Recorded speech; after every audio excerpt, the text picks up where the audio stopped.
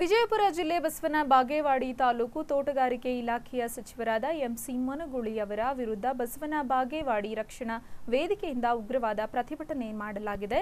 ಕೂಡಲೇ ಎಂಸಿ ಮನಗುಳಿ ಅವರನ್ನ ಸಚಿವ ಸ್ಥಾನದಿಂದ ವಜಾಗೊಳಿಸಬೇಕು ಮತ್ತು ದೇಶದ್ರೋಹಿ ಹೇಳಿಕೆ ನೀಡಿರುವ ಅವರನ್ನ ನಮ್ಮ ಭಾರತ ದೇಶ ಬಿಟ್ಟು ಕಳುಹಿಸಬೇಕು ಎಂದು ಹೋರಾಟಗಾರರು ಆಗ್ರಹಿಸಿದ್ದಾರೆ.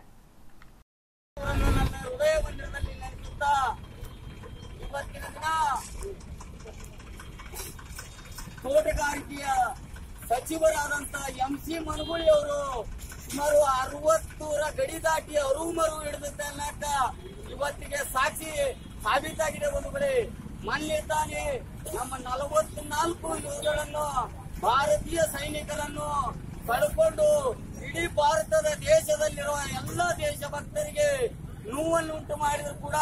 ಮತ್ತೆ ಅದರ ಪ್ರತಿಕರವಾಗಿ ಕೇಂದ್ರ ಸರ್ಕಾರ ಒಳ್ಳೆ ಪ್ರತಿಕರವನ್ನು ತೀರಿಸಿಕೊಂಡಿದ್ರು ಕೂಡ ಇವತ್ತಿನ ದಿನ ಅಲ್ಪ ಸ್ವಲ್ಪ ದೇಶಾಭಿಮಾನಿಗಳಿಗೆ ಜನ ಸಮಾಧಾನ ಅನಿಸಿದ್ರ.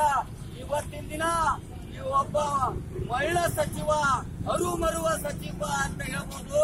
ಅಂತ ಎಂ ಸಿ ಮನುಗುಳಿ ಅನ್ನೋರು ಅಂತ ಪ್ರತೀಕಾರ ಪಾಕಿಸ್ತಾನದ ಉಗ್ರರ ಮೇಲೆ ಪ್ರತೀಕಾರ ತೀರಿಸಬಹುದಂತಕ್ಕಂಥ ಮಾತನ್ನ ಹೇಳಿದಂತ ಇಂಥ ಭ್ರಷ್ಟ ರಾಜಕಾರಣಿಯನ್ನ ನಮ್ಮ ಭಾರತ ದೇಶದಿಂದ ಗಡಿಪಾರು ಮಾಡ್ಬೇಕಂತ ಅಂತ ಹೇಳ್ತಿದ್ದೀನಿ.